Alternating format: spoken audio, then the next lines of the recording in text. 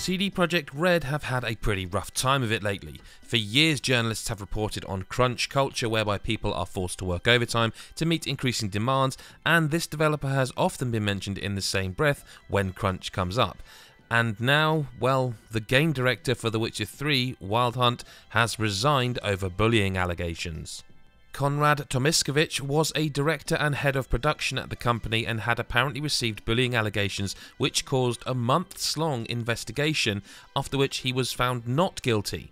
But despite this, he has resigned from his position within the company, saying, nonetheless, a lot of people are feeling fear, stress, or discomfort when working with me.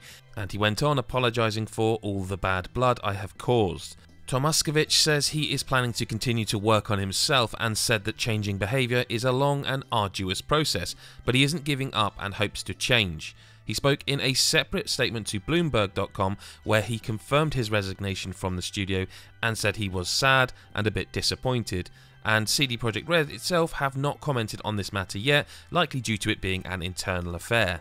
And you do have to wonder if people are going to start feeling a bit sorry for the studio soon. It does sound like some reform is needed there though, and after the furore surrounding Cyberpunk 2077 when the game was released in what many feel was an unfinished state on last gen consoles, the company had their servers hacked, an attempt at ransoming their data, and more. They could really do with a bit of a win. But it does seem CDPR is trying to do right by fans of its games at least, and a roadmap is in place to bring free content to Cyberpunk 2077 players, and the most recent patch did a lot to fix some of the more persistent issues within the game, though there is still work to be done, it seems, in that studio full stop. For more on all things in gaming, and for what's new and what's next, head to nme.com.